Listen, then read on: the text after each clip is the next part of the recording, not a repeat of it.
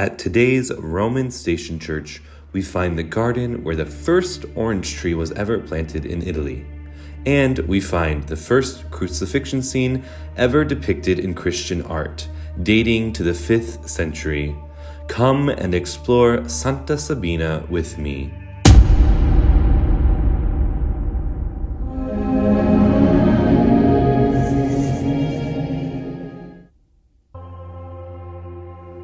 On Ash Wednesday, we ascend the Aventine Hill. We leave the noise of the Lungo Tevere with all the cars and buses and motorini behind us and continue up this small road.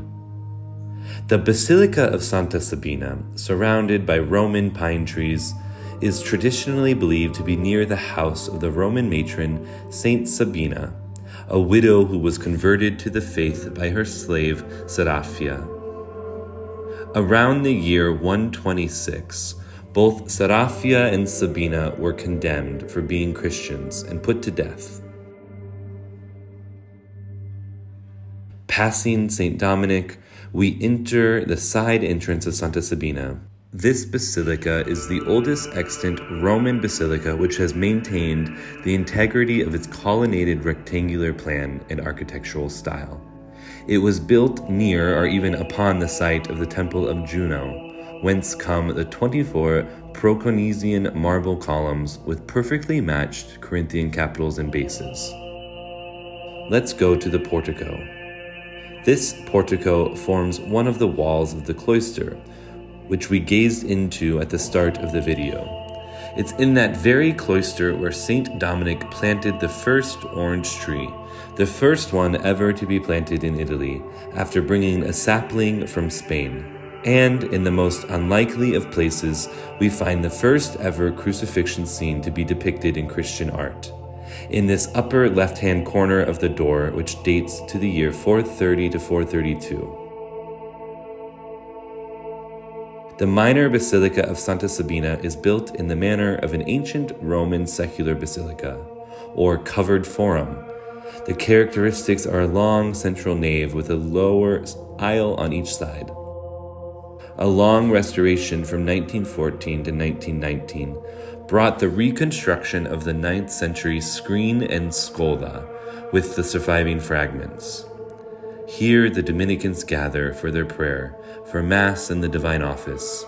Entrusted to the Dominicans by Pope Honorius III, Santa Sabina has seen the likes of many Dominicans. Their very founder, St. Dominic, St. Thomas Aquinas, Pius V, and countless other friars have passed through this sacred space. When we look around, we see the basilica as it was designed to look during the pontificate of Eugene II in the 9th century.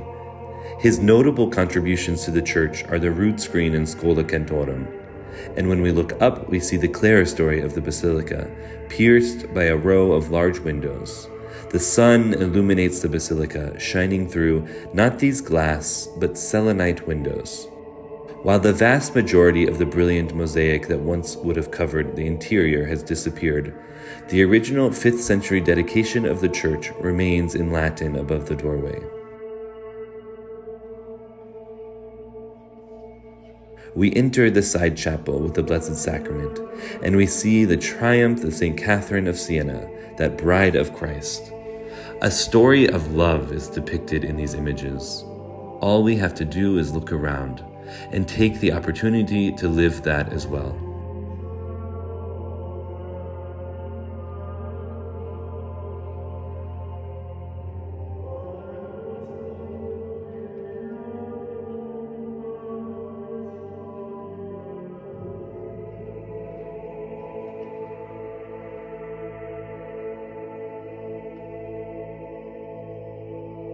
Spending time in Santa Sabina, one becomes particularly aware of the effects of light in an interior space like this. In centuries past, the glass tiles of mosaics would have created a shimmering effect. Walls would have appeared to be floating. Light experience in Santa Sabina as an architectural feature is understood as a symbol of divinity, a symbol for Christ. The opulent effect of the interior of the original Constantinian basilicas is brought out in a Spanish pilgrim's description of the Church of the Holy Sepulchre in Jerusalem. He wrote, The decorations are too marvelous for words. All you can see is gold, jewels, and silk. You simply cannot imagine the number and sheer weight of the candles, tapers, lamps, and everything else they use for the services. They are beyond description. So is the magnificent building itself. It was built by Constantine and was decorated with gold, mosaics, and precious marble, as much as his empire could provide. This basilica, not built by Constantine, but 80 years after his death, was built by the priest Peter the Illyrian during the pontificate of Pope St. Celestine I. Zealous for Roman orthodoxy, Celestine I fought the errors of Pelagianism. He countered the folly of Nestorius and ensured the Novatians would have no stronghold in Rome, taking their very churches from them. In writing to priests in Gaul, Pope St. Celestine I said, We are deservedly to blame if we encourage error by silence. Therefore, rebuke these people, restrain their liberty of preaching. The station Mass is typically celebrated by the Holy Father.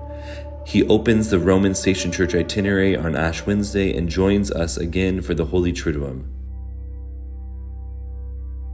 When visiting Santa Sabina, most everyone stops in the Giardino degli Aranci, or the Garden of the Oranges. Surrounded by these Roman pine trees with a view of St. Peter's Dome, a quintessential romantic Roman garden.